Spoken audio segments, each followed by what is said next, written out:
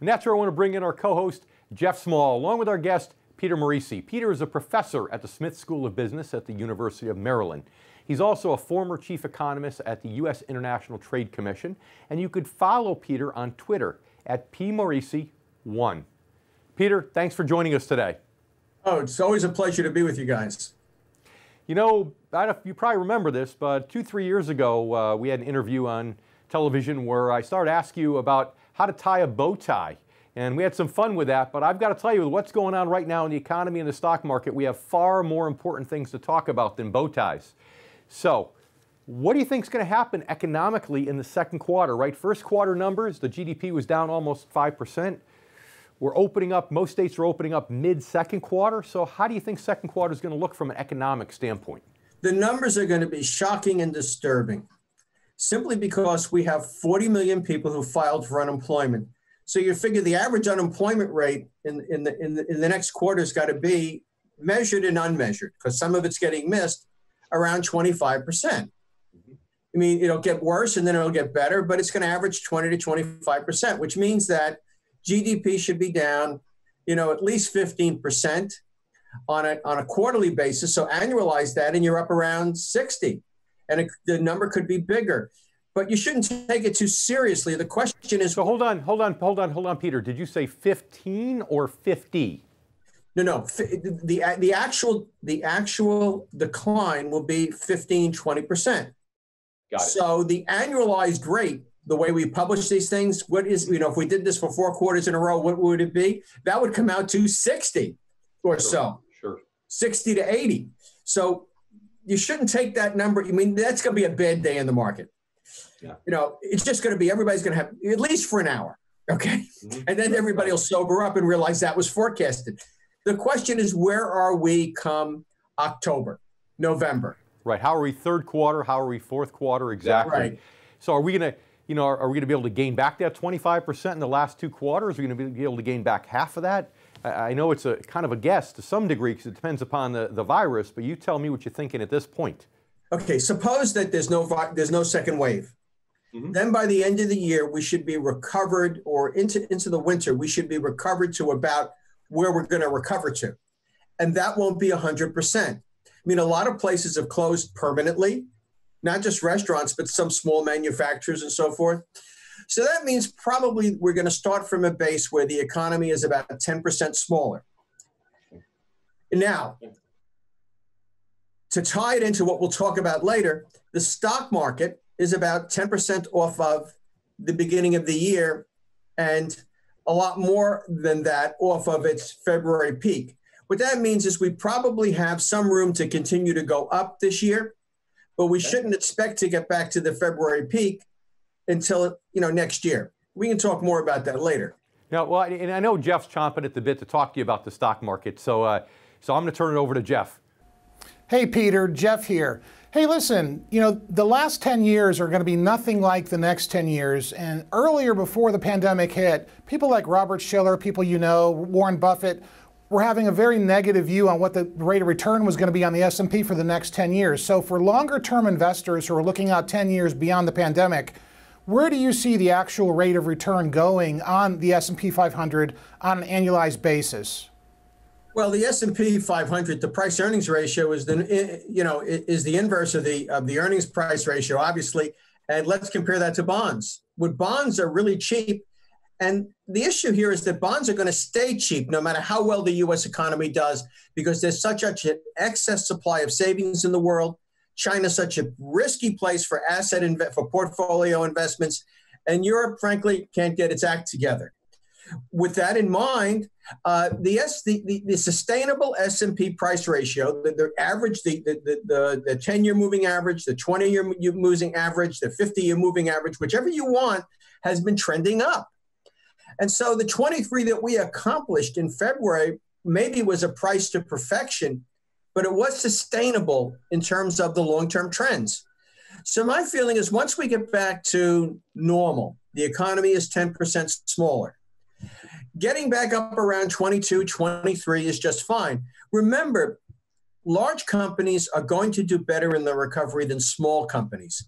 The small companies, the, the companies that are not, uh, that are below mid cap, and those that are not incorporated or sell on the exchange at all or whatever, they're the ones that are taking the hit. So my feeling is we're in an era of big companies because of global markets. Globalization is not going away. So the kinds of numbers and analysis we used, uh, uh, you know, before the crash will apply again. As for my friend at the University of Pennsylvania, my question for you is Do you ever recall him being optimistic about housing or asset prices? Uh, very rarely, actually. So. Very rarely. now, if you had used him for your investment advisor, where do you think you'd be relative if you had used David? Well, you wouldn't have the same return, that's for sure. Or Peter. me. That's correct. Okay? So I think that you should consider that. You know, they give Nobel Prizes out for lots of reasons. Most of them are not for real market savvy. If you want an example, just read Paul Krugman every Sunday in the New York Times. Very true. That's great. That's great. So I get it. You think uh, third quarter and fourth quarter will regain actually probably uh, two thirds of the economic shrinkage we've seen first and second quarter. Uh, but the stock market can still have potential to grow next several years. So we need to take a quick break. We'll be back in a minute, coming up right here on the income generation. We'll be right back.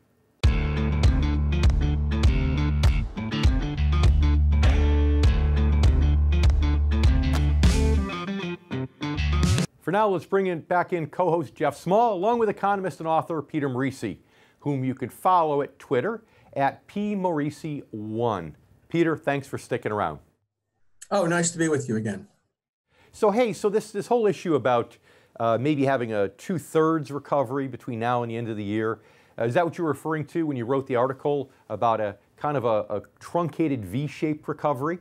Yeah, I mean, it's going to bounce back and it'll bounce back quickly, but it's not going to bounce back to the several level, same level. Now, one of the things to understand when you're engaged in events that are f- much further from the mean than your historical record, you know, we haven't seen unemployment rates like this since 1920, 1933.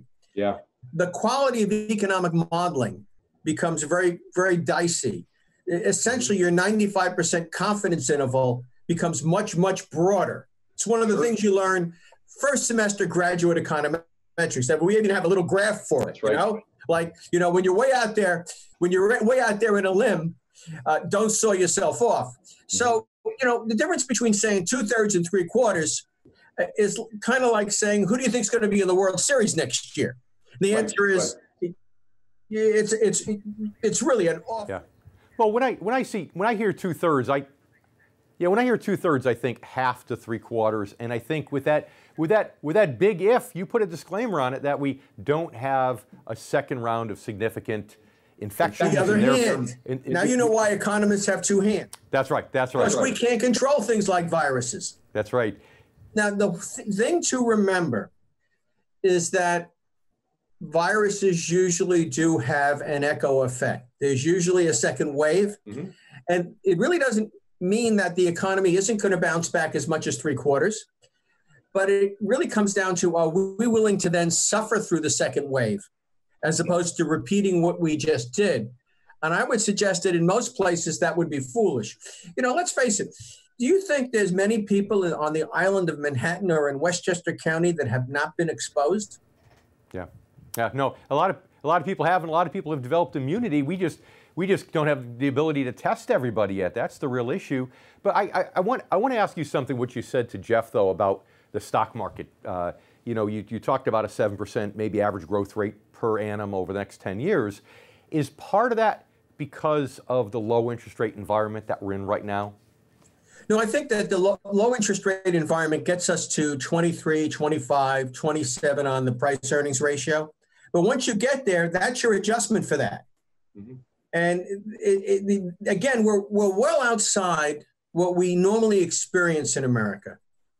Mhm. So that, uh, you know, doing um, price, uh, you know, price earnings ratios back 50 years against interest rates 50 years is only going to give you a broad indication. But we're going to get to some sort of price to perfection again, you know, a Mhm. well priced number. And then from there, it's 7%. The, the trick here is that in order to do really well in the market, it's easy to say, well, you know, you got to go to high tech. Well, at some point, high tech gets priced to perfection, and it's seven percent. Sure, sure. The, the trick here is to, to pick up those stocks that have been undervalued because they are going to have some bounce.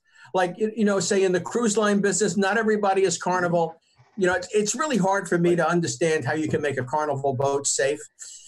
But there are yeah. other cruise lines that that that are operate smaller boats that are able to deal with this better. So you know, there's an example. And the other thing is picking off people in in in um, artificial intelligence, robotics, mm-hmm. things like that. Sure. Uh, picking off real estate in Manhattan. Uh, mm-hmm. You know, let's face it. Right now, they're all panicking in New York. The banks are going to open up. Uh, they're going to spread out. They're going to move to New Jersey and Long Island. I would move to New Jersey because it's got lower taxes. But they're going to move away. But the point is, the logic of Manhattan comes back when the virus is tamed. I mean, do you really want people spread all over the place? No, so probably Manhattan real estate is going to get a bigger hit. The real estate investment trusts are getting bigger hits right now than they're going to sustain. And of no. course, that takes good, strong investment. Okay. Now, now Jeff, uh, why don't you bring it back to our, our viewers? What you know, uh, with what we need well, to know. Well, if, I, am a Peter viewer, about, yeah, if I'm a viewer, Peter, I'm saying, wow, you are really optimistic um, about the future financially you know, even though you're using history as the barometer for that, if I'm a viewer, this is what I'm saying. This isn't me speaking, Peter, but the reality is the uh, evidence based science says that there will be multiple surges of the virus. And we know in the Spanish flu, under the second surge, is when we saw the Dow really start to decline and go into a long term protracted correction. Um, you know, there's a really good chance we're going to have a second surge, and most of that will be caused by people making mistakes and not safeguarding enough because this is a very highly transmissible, um, you know, virus. If you're an older person over 60 and you're retired and you're not going back to work, under the short term, what type of risks do you think they're facing if they're stock based at this time in those scenarios, Peter? They're very vulnerable because they haven't prepared themselves correctly. Uh, and so the best they can do is to shift to uh, dividend stocks. So they can catch the rebound if they get it. And they, uh, you know, they'll still get their dividends. Even, you know, let's face it, Procter & Gamble ain't going out of business. Uh, you know, so go to di- dividend-based stocks and, and write it out What a mind, with an eye towards the fact that, say, the petroleum industry's uh, long-term uh, prospects are not great so you certainly want to go to dividend based stocks that have good long term prospects for when the economy recovers. It, it's too late to jump into bonds because bonds can only have downside risk now. I mean, I really doubt that America is going to negative interest rates. They have more options over there than they admit. So, you know, that's that's where I come on that. Hopefully, if you're an older person like myself, you're like myself, and I have my half of my money in, in fixed income cash equivalent get out money so I can ride out 10 years. Because wow. we may be looking at a long haul here, like you described, that you can, I cannot dismiss your scenario. Yeah, no, that makes sense, Peter. It's uh, you're right. And, and whenever you, you know, I always tell people, you know, when you invest for the I instead of the G, the income instead of the growth, at least you have a bird in the hand.